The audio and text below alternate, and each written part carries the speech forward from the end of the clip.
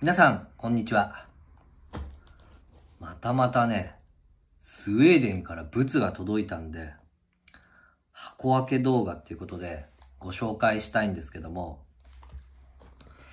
これカストロム、ラースですね。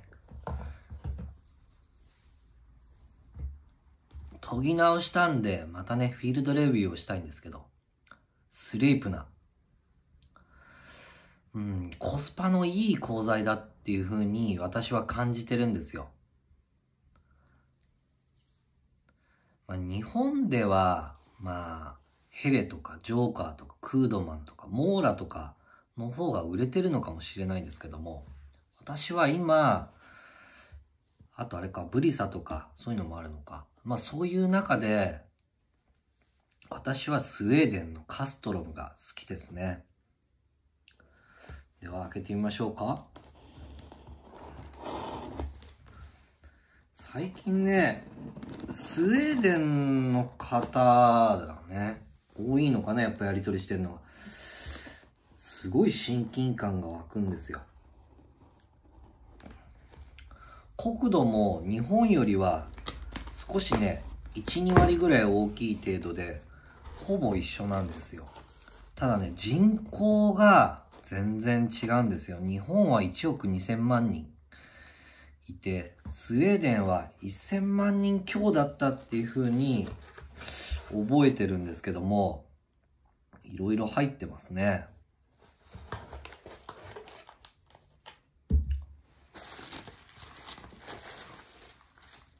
これはナイフボックスですね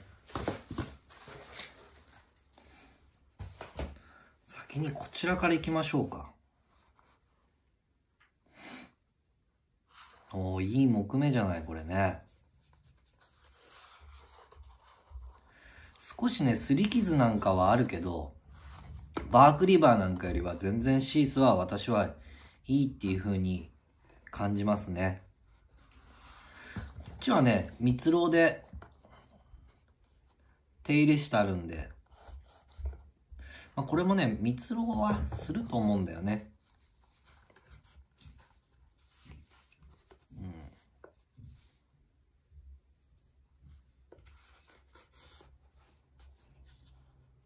そうなんだよね。当たるからこっちに入れてんだな、きっとな。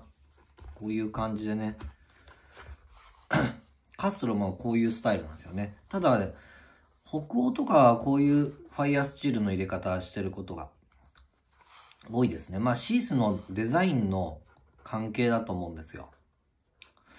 一応ね、JRE のも持ってきてるんですけども、JRE も、このね、スウェーデッシュルーツがね、入ってるっていう風に、私は考えてますね。メーカーの人にはそういうのは聞いてないんですけども、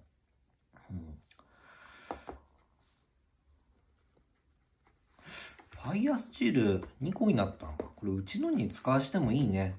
うん、木目がね、いいね。早速なんですけども、入れてみましょうか。ああ、ジャストフィット。それは当然そうですよね。専用のシースですからね。入れるとこんな感じ。そうなんだ。一つね、忘れてたのが、まあ、またなんか、注文する時でもいいんですけども、ダングラーを、このカストロムはカストロムのオリジナルでいこうと思っててね、ダングラーをね、頼むのを忘れてたんですよ。まあ、しょうがないんですけどね。一応、JRE のがあるんで、ちょっと色は少し違いますけども、まあいいでしょう。くっつくんでね。まあ頼むまでこれで行くしかないかなっていうふうに考えてるんですよ。これも JRE ではスウェディッシュダングラーって言われてるんですよね。で、見えるかな？カストロムのカラビナを使ってるんですよ。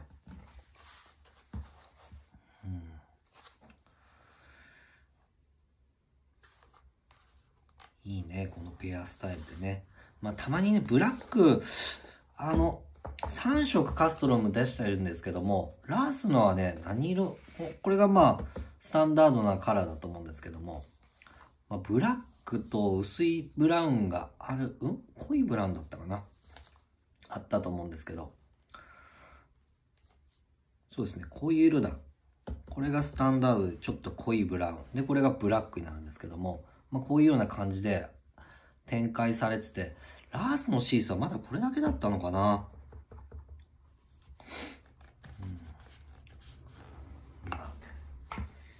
いいでしょう、これでね。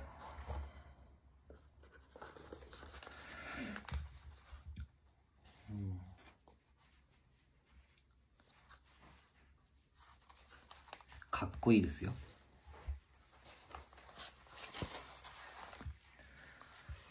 で、買ったのが見え、映るといいんですけどね。サファリミニハンターっていうナイフになるんですけども。これはメインナイフとではないですね。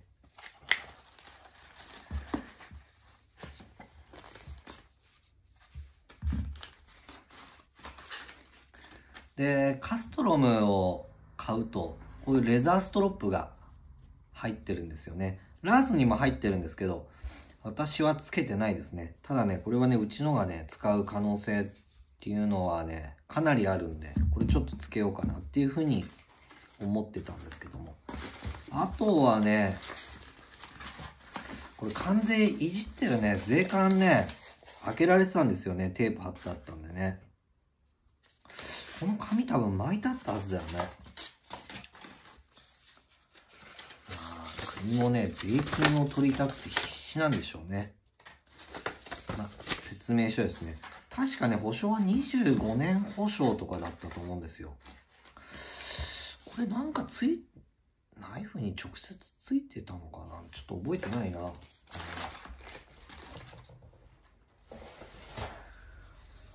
うん。シースの作りは同じですね。ただこの独特のデザインね。これね、カイデックスシースもあるんですよ。大きいね、水抜き穴がついてるんで、安心ですね。でね、これね、ちょっと違う点があるんですよ。やっぱり違うわ。同じカーリーバーチなんですよ。で、このナイフの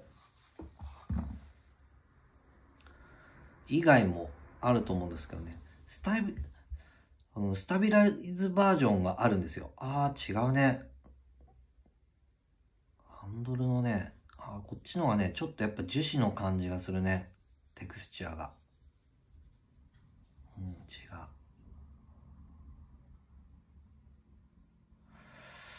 わかるかな？表面がね、全然違う。ただ、ハンドフィーリングとしては、こういうナーチャーな感じの方が、握り心地はものすごくいいですよ。メインナイフでね、あれば、これでいいと思いますね。これハンティング用だからっていうこともあると思うんですけど、これね、メーカーのカタログではね、これで鹿とか解体してるんですよ。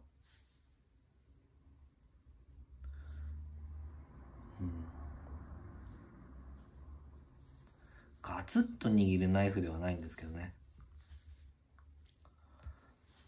まあ、これでね、イワナの刺身を作るのにいいんじゃないのかなっていうふうに思ってたんですよね。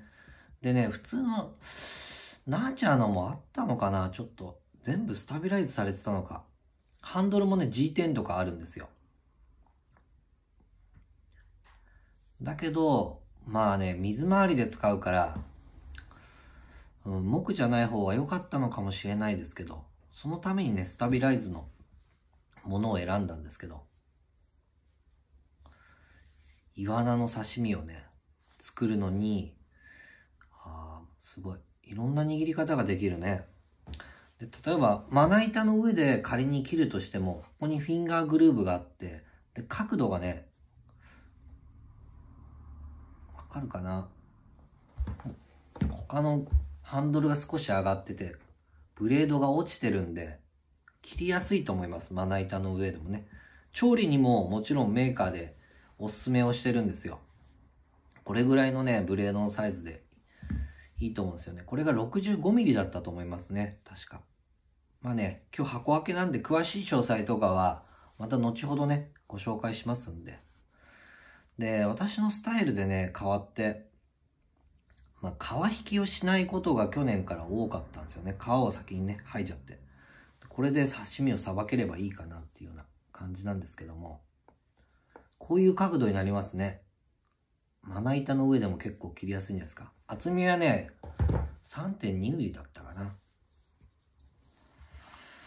うん。いいですね。でもスウェーデンのいいなとか思うことっていうのも結構あって、まあ親日国だからっていうのもあると思うんですけども、ただ日本とこのアウトドアをしてて、考え方多分その人たちのモラルとかそういうので全然変わると思うんですけど、日本だとちょっと厳しいなっていうふうには思うんですけども、法律でがあって名前はちょっと忘れちゃったんですけども、居住地とか畑とかっていったとこはまた別になるんですけども、国有地だろうと私有地だろうと自然、森に関しては誰でも出入りする権利があるんですよね。で、そこで、まあ、スウェーデンだとベリーですね。ベリーとかキノコを、私ちょっとキノコ食べれないんですけども、キノコを摘む権利っていうのがあるんですよ。あの、私有地じゃなくてでってことですよ。人の私有地に入ってもいいっていうことですね。で、それを日本だと多分そういうことをすると悪用だったりとか、まあゴミを捨てたりとか、まあさ、取るだけ取って松茸泥棒なんてよく聞きますよね。自然薯とかそういうのも。まあそういう方向に行っちゃうんだろうなと思ってね。まあ、そういうとこですよね。うん。いいね。これもね、ちょっと蜜ろでね、やるんで。で、今、いろいろ見たんですけども、国内で買う場合は、まあ、海外であればね、いろんなディーラーで販売されてると思うんですけども、で、国内の場合はグローイングですね。グローイングで、これね、鋼材名書いてないんかったかな？あ書いてあるかな？これね、新しい方のモデルで書いてあるね。14シーン 28N なんですよね。古い方は12シーン27みたいです。多分去年か、そんな何年も経ってないと思うんですけど、マイナーチェンジで鋼材変わってるんですよね。だから今ね、カストロムの鋼材は、ステンレスだと、14C28N を、多分もう全部すべてメインじゃないですかね。で、非ステンレス、カーボン系になると、このスレープナーですね。昔の K720 とかっていうのはもう使ってないと思いますね。私は昔これで計720っていう鋼材を使ってたんですけども、まあそんなにいい鋼材ではない。まあこういうのに比べるとね、まああとクルーウェアとかね、3V とか。こんな感じでいいのかな？これどうせって引っかかるようにね、やった方がいいかな。まあこんな感じでね。ちょっと長くなってしまいましたけど、うん、